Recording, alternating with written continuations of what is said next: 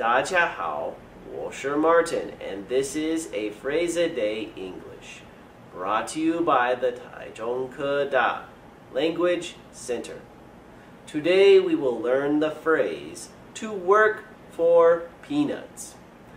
廉价工作 To work for peanuts means to work for very little money. Uh, we say peanuts because uh, uh, back a long time ago, peanuts were a pretty cheap snack that people ate. Uh, for example, when they went to watch a baseball game.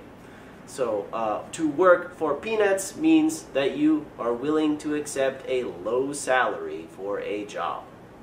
I will give you two example sentences to demonstrate this phrase. Example number one.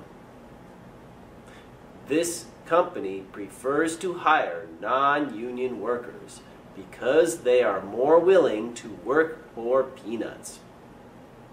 Example number two. I'm tired of working for peanuts. It's time to get a new job. Alright, so work for peanuts means to work cheap. That's what that means. Work for cheap.